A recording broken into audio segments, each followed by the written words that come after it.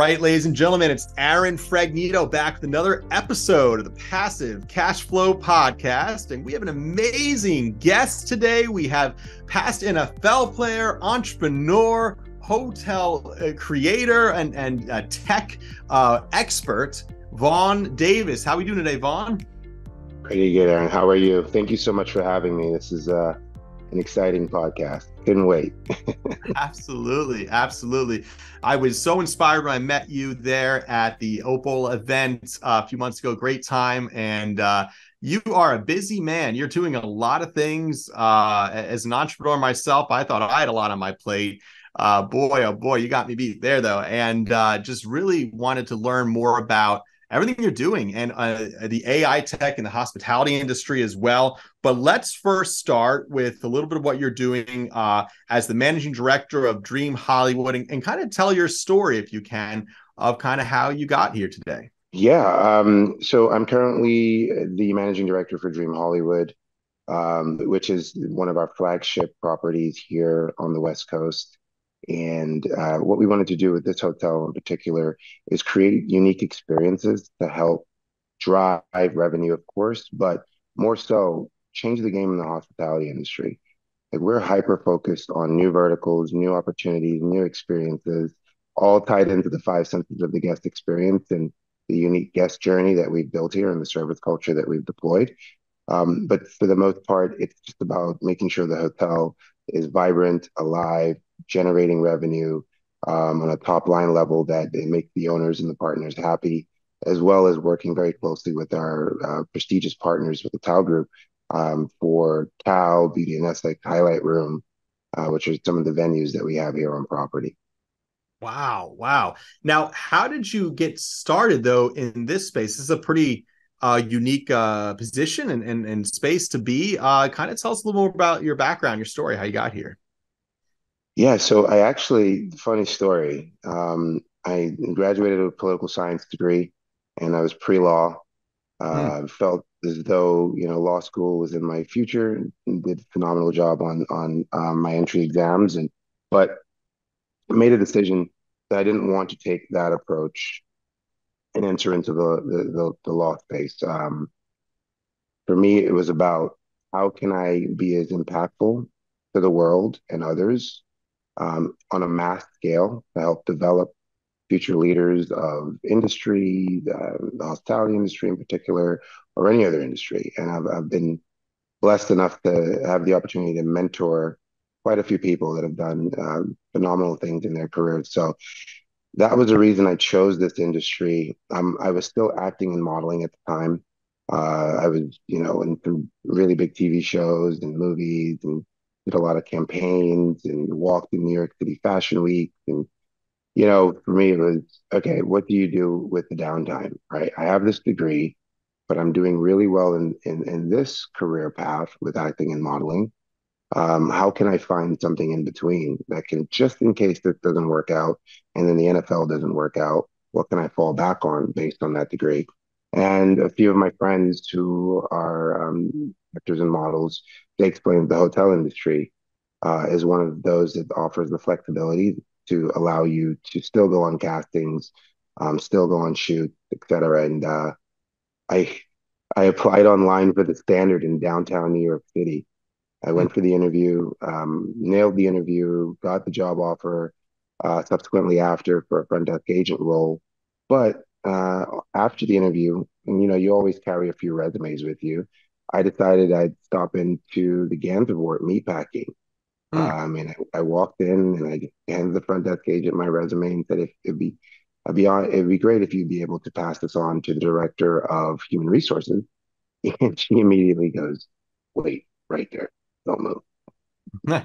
he picks up the phone, calls the director of human resources. He runs downstairs from his office, literally within two minutes was there um, a nice little introduction, and he said, "Yeah, we would love to interview you for the front desk position wow. at our new hotel, which is Gansevoort Park Avenue." Mm-hmm. So, you know, that started the process. Of course, I went to the interview, um, and then connecting with the general manager at the time, who is still a mentor to me to this day and a good friend.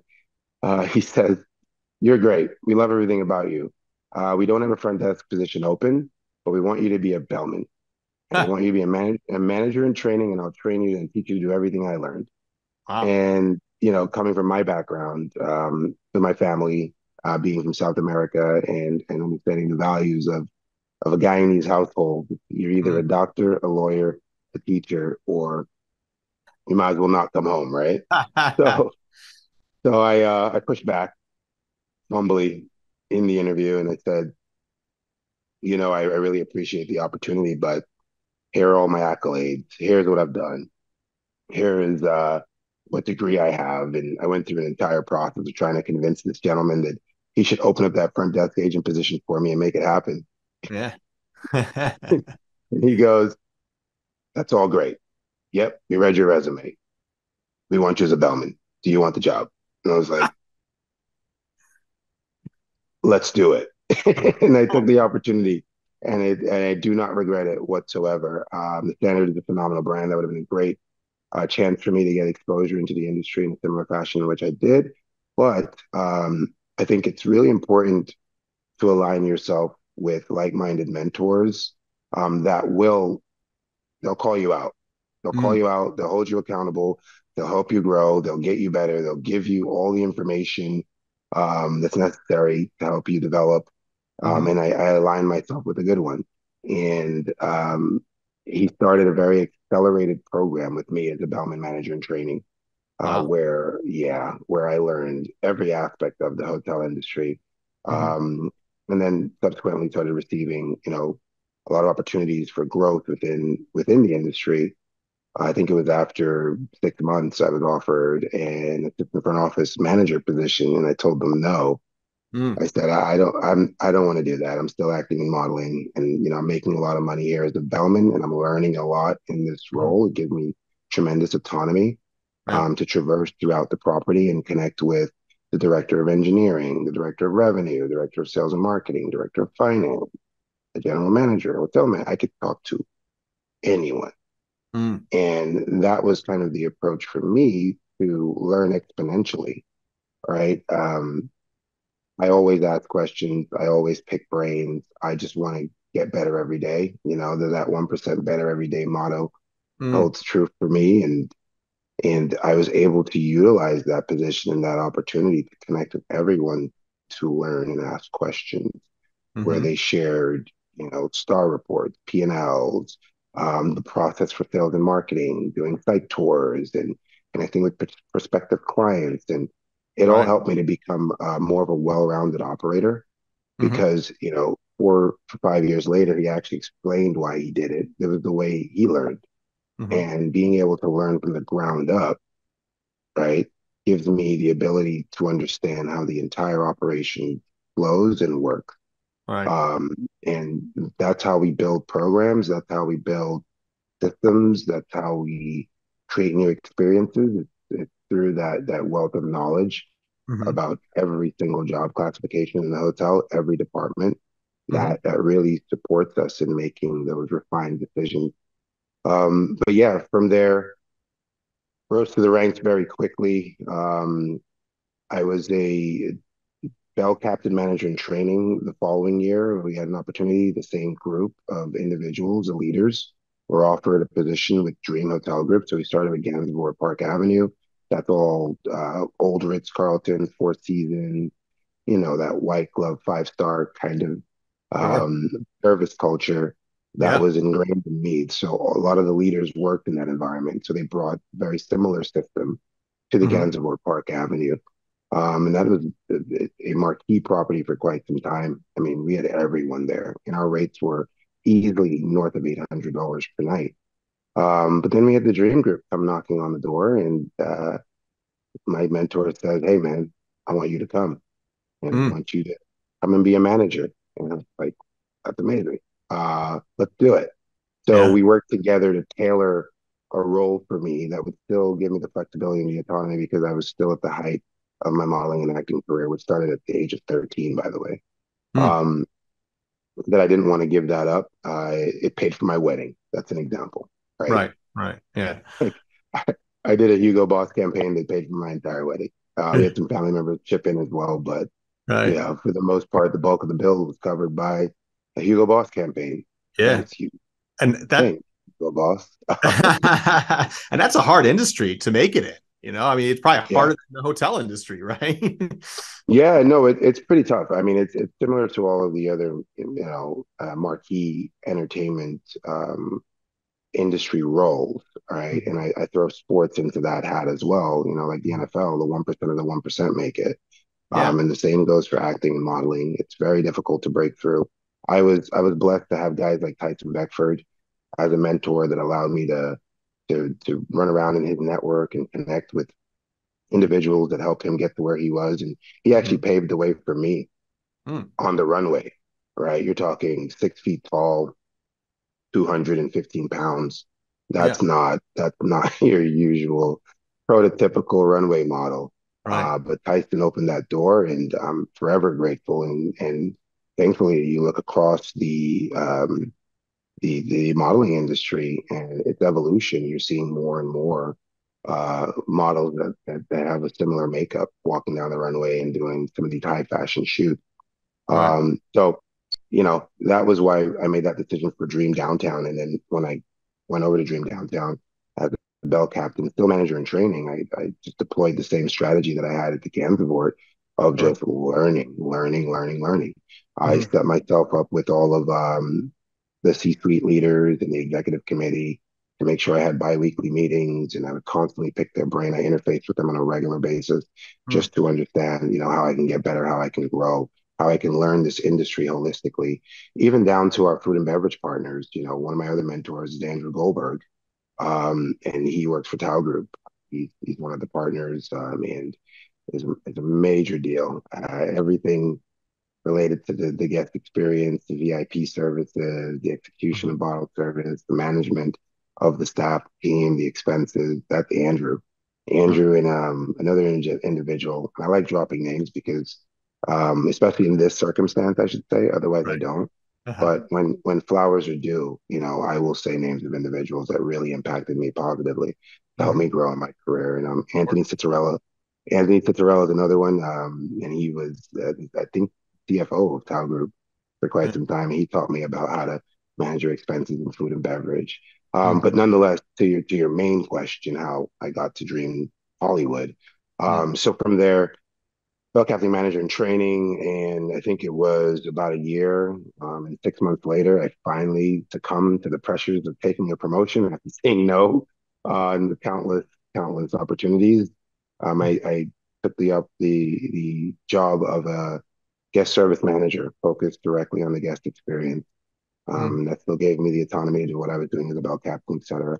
Um, mm. And then seven months later, I became a director of guest services, being prepared to be the general manager of the hotel mm-hmm. um, and or of some of the other projects that were in the pipeline that were mm. going to open, you know, relatively soon. Right. Um, and at 27, I felt like I was ready, but I wanted to take, you know, a deeper dive into learning outside of the silo that I learned into mm-hmm. right? Like I didn't just want to learn from one silo. I said, okay, maybe there's another group of individuals that can help me get to the next level. I appreciated everything my mentorship group did within Dream Hotel Group. Love them to death, their family, in yeah. in my mind, my heart. Um, but I also wanted to learn from some other individuals, you mm-hmm. know, and that's when I was able to um, shift over to to Two Roads, and I opened nine hotels with Two Roads, and worked um, primarily at Hotel 50 Bowery as a director of front office, where I was learning how to now be a well-rounded general manager and operator. Right. Um, and then, you know, if you look up that team, that's Tom Larson, that's Jorge Trevino, um, that's Jamie Sabatier, Teresa Villagrana, I mean, Dan Gordon. These are legends in the game that um, fed into me and and taught me more about how to be a better leader, how to deploy, um, you know, all the high EQ principles, mm-hmm. um, how to recruit, how to maintain your standards, and how to execute. You know, and uh, they also allowed me to open hotels and be on task force. Right, so that was a whole other learning journey that happened there. Sure. Um, and then I think it was now after being director of an office, I was then a director of rooms, and then a hotel manager, and then the general manager, right. Bowery, and then I had a tough decision to make because I received some phone calls and you know uh, Dream Hotel Group has a a very very sacred place in my heart. I helped mm-hmm. open Dream Downtown, which mm. is our, with our flagship in New York, and mm-hmm. a lot of the the service culture, the guest journey, the, the UX as we call it in the tech world, we yeah. built that hotel and then scaled it to all of our other properties. So when that call came in, no brainer. I get to move to Hollywood. Mm-hmm. I get to live in LA. I get sunshine pretty much year round. Hmm. Um, and it's a brand that I, I, have, you know, tons of institutional knowledge and experience with. Sure. So for me, it was like a no-brainer. This hotel's gorgeous, and I wanted this hotel anyway. Even mm before the world knew that it was in the pipeline, I knew about it, and I was pretty excited mm at the hmm. opportunity to operate it. Um, so, came as general manager. Um, I had the opportunity to become the managing director, uh, and, and we launched our own hotel management company called Relevant Hospitality uh, wow. which I work very closely with the partners to oversee, and we we own and manage our own hotel, mm-hmm. and you know that is that's uh, that's a blessing, man. That is absolutely amazing. Such an exciting new journey that we're on here.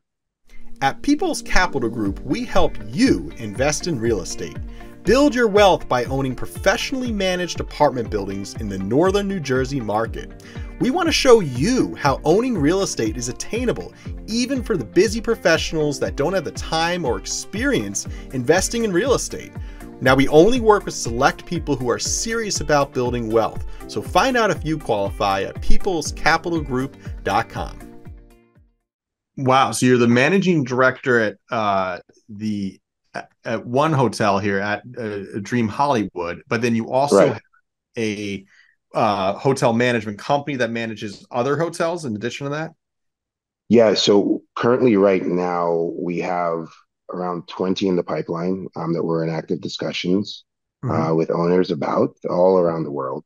Wow. Um, and we also manage Mother Wolf, which is the hottest restaurant here in Los Angeles. Oh, uh, six month waiting list, and you name a person, they're mm-hmm. there. I mean, mm. I was just there last night. The food is just incredible mm. perfection. Mm-hmm. Um, mm-hmm. and, and, my hat goes off to the team at Mother Wolf um, mm. for everything that they've done to launch the brand and then keep it stabilized and keep it at the forefront of the mind of everyone in the market and outside of the market. Mm-hmm. Um, and then we also manage Citizen News, which is a 10,000 square foot event space uh, right around the corner from the hotel. Okay. So, yeah. Wow. Okay. That's that's a long story, Vaughn. A lot to dig into there. Um, one of my questions right off the bat is uh, just to understand the timeline. So you kind of started as a teenager and you know really 13 or preteen almost uh, as an actor model. Um, that's an interesting space to start in at that at that age. It must have been tough. Yeah, yeah. I'll tell you that was that was that was pretty fascinating. I was just a, I was an athlete, right? Mm-hmm. So yeah. a student a student athlete to be exact I won the President's Award in sixth grade, which, as you know, it's like top 2% uh, performers in the country get that award. So I got a nice certificate from Bill Clinton and a pin, which oh, I cool. wish I could still find my President's Award pin because I had no idea how big of a deal it was back then. Until now, when I have my own pin, oh no, I, it's it's somewhere in a box in my mom's garage in, in New York. I'm pretty uh, sure.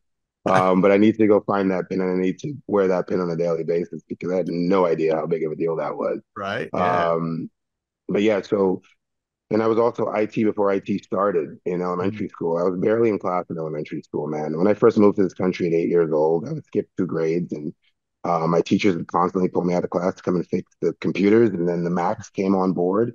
So I'd have to fix Macs and teach all of the teachers how to use the new technology right. uh, that was permeating the space. But yeah, no, I was I was in high school at the time in Manhattan at uh, Washington Irving High School. I was playing baseball and basketball on the varsity team, and I was just walking to the train station after school one day and after practice one day, and um, a gentleman approached me and was like, "You're perfect," I was, hmm. and I was like, "Okay, mm-hmm. thanks, sir." Hmm. like, no, you're perfect. I would love to photograph you. I was like, how about no? I'm a teenager. and I'm gonna keep and I'm gonna keep walking. Yeah. And he goes, No, no, no, no, no, I'm a photographer, I'm this I'm that. Um, so that kind of started the process.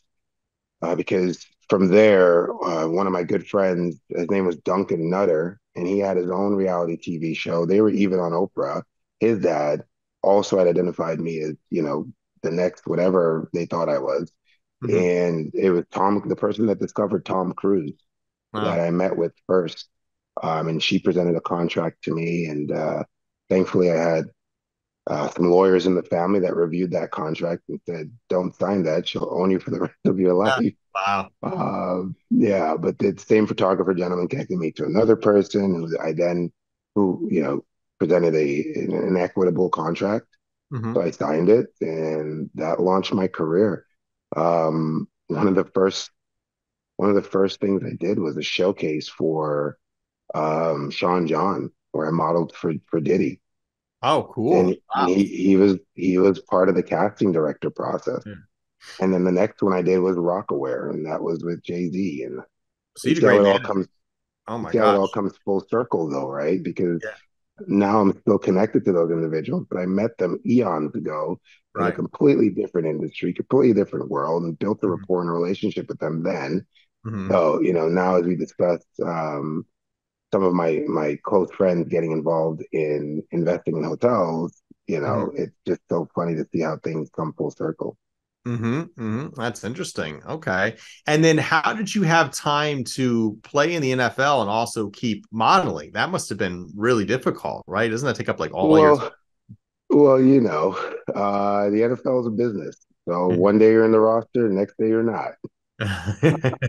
sure. So for, some of us guys that were on practice squads and and lived that free agent life that wasn't um, you know a Randy Moss or mm-hmm. I'll use a more recent um, example, a Justin Jefferson. Mm-hmm. Yeah, it's an interesting life.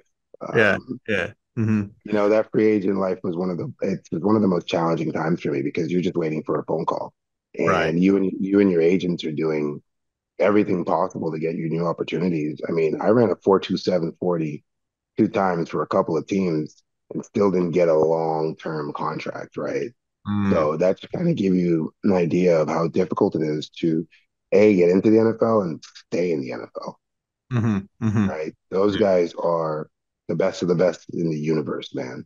They mm-hmm. are elite athletes. Right. And um, yeah, so that's how you get a little free time, man. You get cut. well, it sounds like uh, you're uh, arguably, you know, destined to be a, a more of a, a, an entrepreneur and a businessman. I think that was just a, a, stage in your career, of course, you know, and also professional athletics. You know, really, it, it is a decade at best. You know, I mean, it's a, it's a tough business to be in, right? And um, but that's amazing. So let's break into. Uh, we've taken a lot of time here, but let's talk briefly about the tech in the hospitality space. I know you're a big uh, proponent of AI and kind of implementing that tech in your hotels. And you were talking to me when we first met about kind of where the space is going. And uh, so just talking about like some of the AI you see, you know, being available right now and even in the near future in the hotel space and like what our experience might be like at one of your uh, hotels with that.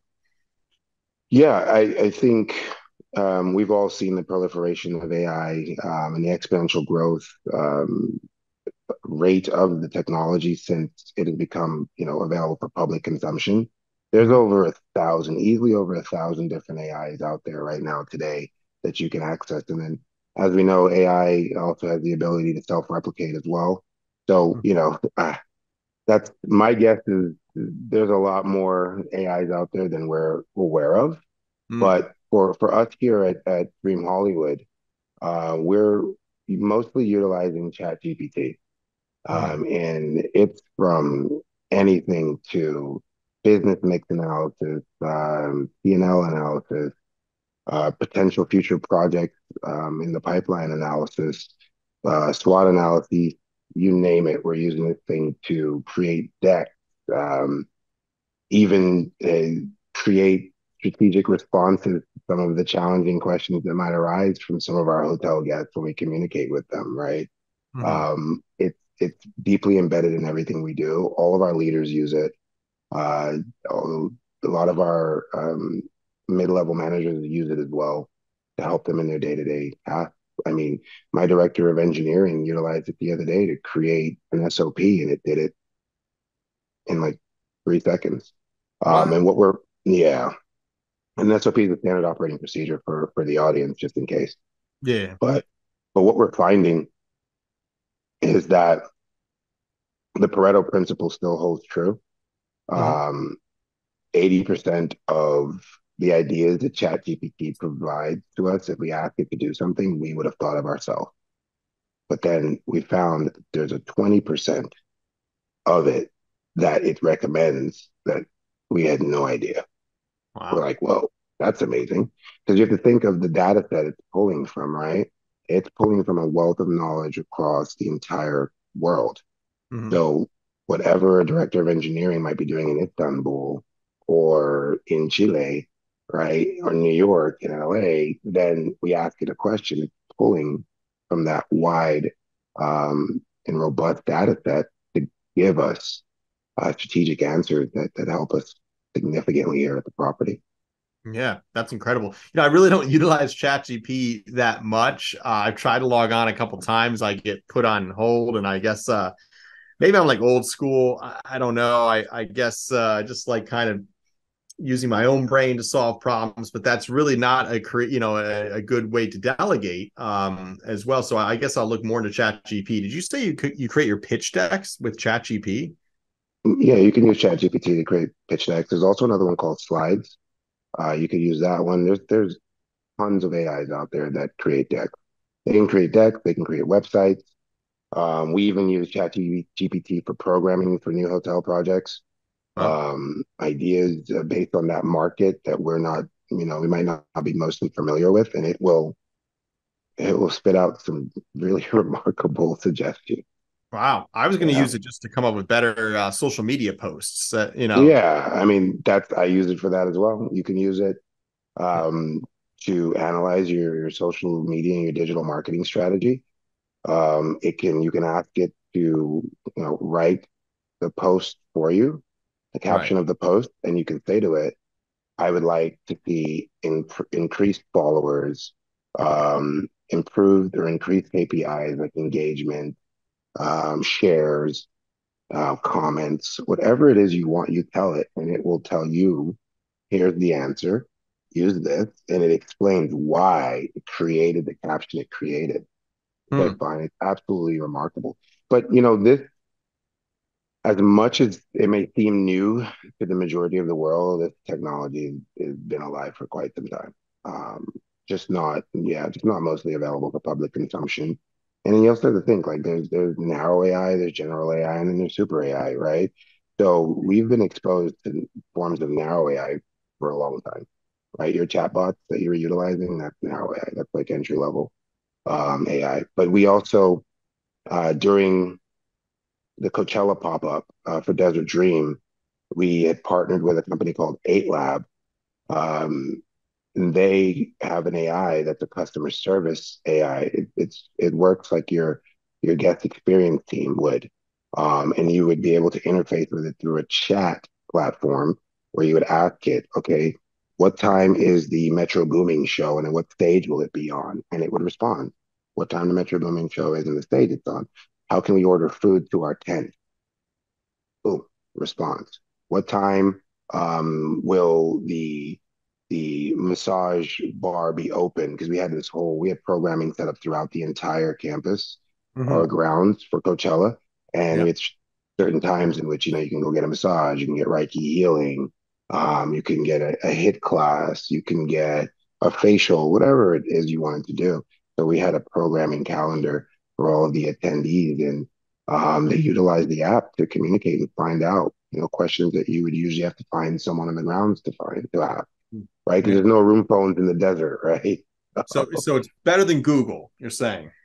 Yeah, it is. It is. It is. Um, it's interesting that you asked that question. I'm, I don't think I've shared this publicly, but uh, you're going to see a shift in um, the utilization of Google uh, with the emergence of this new technology.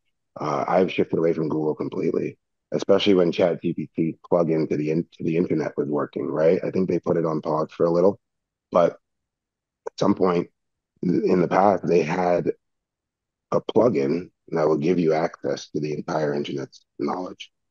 Wow. Wow, we. I'll tell so you this. I feel like AI, like it's it.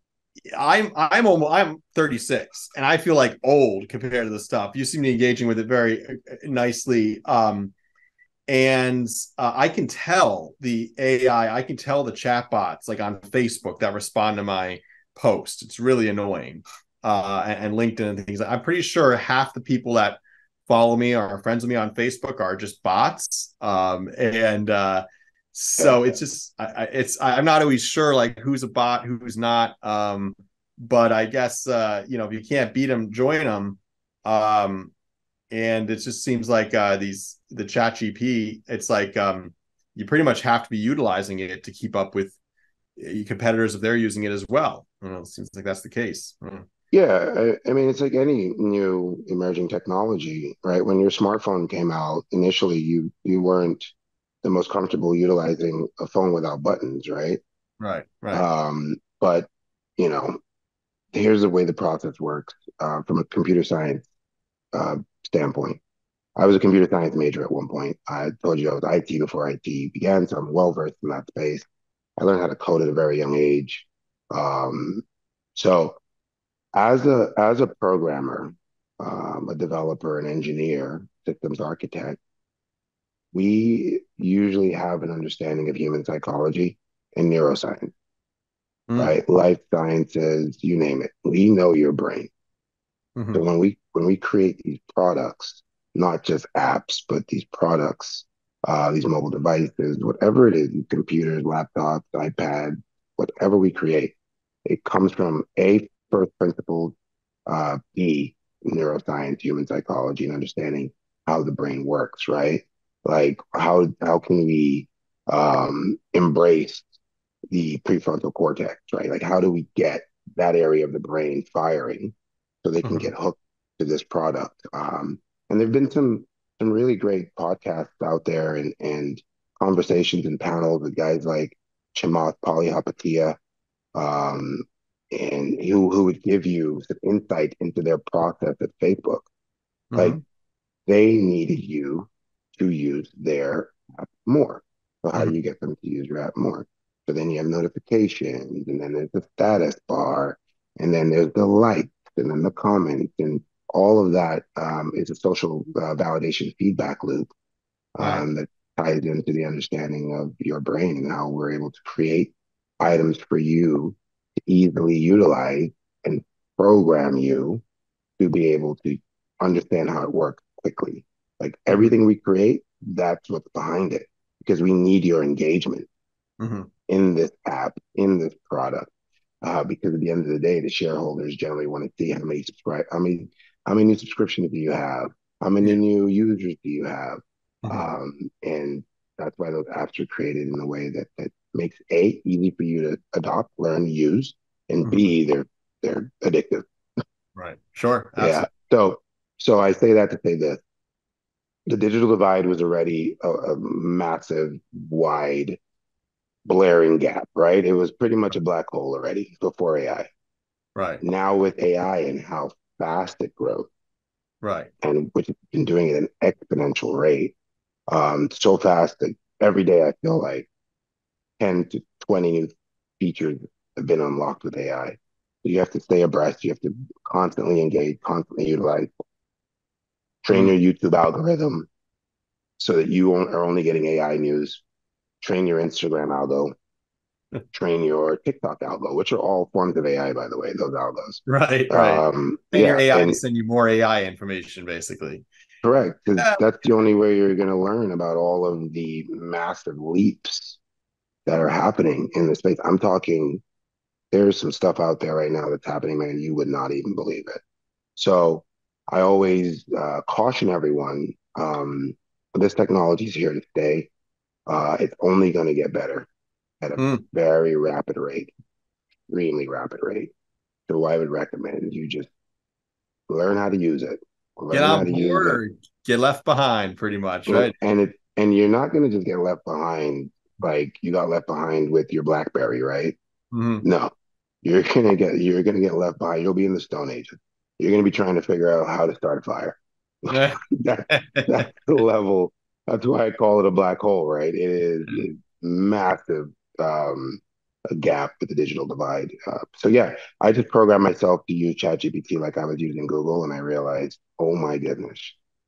Think of this for example, right? Because Google's main goal and their purpose, and you can Sergey this, um, but what what they wanted to accomplish was a massive super AI brain, mm. right? And that's where I don't know if you saw um, Google's AI DeepMind beat the gentleman in chess, and then he did AlphaGo and then beat um, the best AlphaGo player, which is the hardest game in the world with borderline infinite moves. Mm-hmm. Um, beat him outright. Right? I think I so, see that. What was the yeah yeah? So Google's main goal was that's why they Google asked you all those questions, right? Or that's why you had the search bar um, and then that's why those questions pop up from the search bar so you can refine your query. Sure. The whole time, the entire world that utilized Google was training a massive AI. Right, right. Because they yeah. took that's all of our data in one centrally aggregated location. We use Google for everything. Yeah. Oh, yeah. The, the, At one point, probably knows more about me than I know about myself. You know, it's right. Uh, right. Yeah. So now, so now think of what ChatGPT is going to do and OpenAI is going to be able to do, right? Because yeah. theirs isn't just a theirs just isn't a search engine. It is like a personal assistant that you know Albert Einstein meets Nikola Tesla in your right pocket. Yeah, yeah. I, I guess I just hope um you know, as we get more and more digital and we disconnect more and more from reality, I, I hope we don't lose sight of our values and traditions as uh, humanity, you know, and uh, kind of re- retire into our little tribes more and more. It's, uh, but that's, we don't have enough time to have that conversation. That's a whole nother conversation, my friend. Well, yeah, it is. Yeah, it is. I mean, we could, we can, look, I think what I tell everyone is just look through history and look at every new technology that has been introduced to our civilization and then tell me uh, hmm. what happens. And then if you still want to subscribe to the older way of doing things and the old societal norms, because we're in a constant movement, right? As a speak, as a as a world, as a universe, which is ever expanding. Nothing is stagnant. Everything is moving. Everything is dynamic.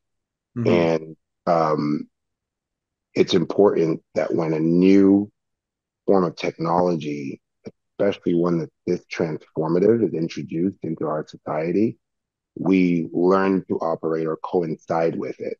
Um, and then that that goes back to being left behind and all that stuff that we discussed. But yeah, yeah we just have to be careful um, relinquishing to a higher power so quickly. Um, yeah, you know, you know, Aaron. Let me tell you, buddy. Yeah, it's a funny one. But I hear that often, and I always ask everyone if they realize that they've been a part of a cybernetic collective since the 1980s. yeah. Yeah, no, absolutely. Absolutely. And, you know, just because we have progressive AI doesn't mean we lose sight of our moral values and everything. You no, know? no, not at all. Not the at all. Computer tells us to go murder our neighbor, we're going to go do it or something, right? No. We want. you know? Yeah, I, I'd hope not. I'd hope not. But um, you know, that was one of the things that Sean Parker talked about and that Chamath Palihapitiya talked about. Um, and they were very concerned about what they did with Facebook. And yeah. they they felt like they have completely changed the moral fabric of our society. And they are correct. Anything you introduce into civilization that's transformative tech mm-hmm. will change the moral fabric of society. I'm hopeful that all of the programmers um, and everyone on the, that's involved in AI ethics and putting in all the guardrails um, would put some proper guardrails in place to ensure that we don't get any recommendations from the AI to go murder our neighbors. I'm hopeful they did a good job, but. put those safeguards in place. All right, let's yeah. wrap up here. Just touch on your philanthropy. I know that's something you're very proud of. Um, what do you have going on in that space? Yeah, so um, the bulk of the boards that I serve on, which are now up to 45, are all focused on ways that we can edify, uh, empower, create, develop, and just uh, make our community as a whole um, just a, a, a, much more respectable place for mm-hmm. everyone that resides within that community or visits it. So, um, a couple of examples. We are partnered with um, the Hollywood Food Coalition, and we work very closely with them uh, to feed the unhoused as a team, um, specifically uh, during Thanksgiving. So, mm-hmm. every Thanksgiving, we would either run the operations of the um, food hall in the kitchen, right, or we would be serving some of the unhoused, and we'd even do you know um, delivery service for any mm-hmm. leftover food. We'd package it and then uh, disperse it amongst all of the volunteers and put it in their cars, and they'll drive around to encampments and provide meals for the unhoused. Mm-hmm. Um, I also coach um, tackle football uh, and mentor a lot of young men, and that that's a big that's a big part of some of my community engagement um, and philanthropic efforts. Um, but most importantly, the biggest one for me was the unhoused crisis here in Los Angeles, which you know, part, being on the board of the Los Angeles Tourism Board, the Hollywood Chamber of Commerce, the Hollywood Bid, has, has allowed to give me access to to add value to that conversation.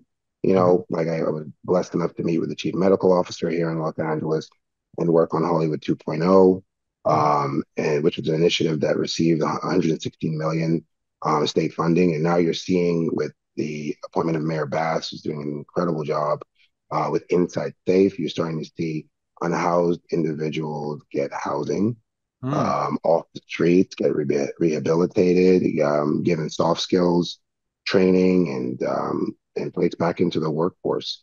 So that's that's the one that's near and dear to my heart, and um, I won't rest until this unhoused crisis uh, is mitigated here in LA, and then hopefully we can scale it to the rest of the country and the world.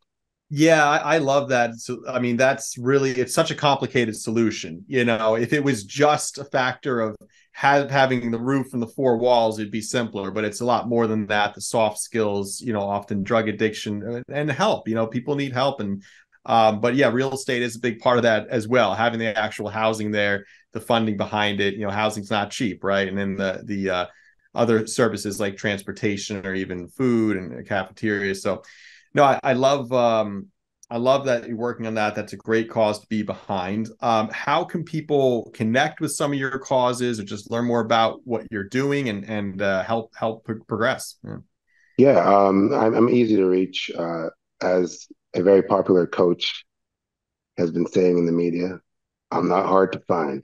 Hold on, I should actually put my sunglasses on, right? The Coach Prime way.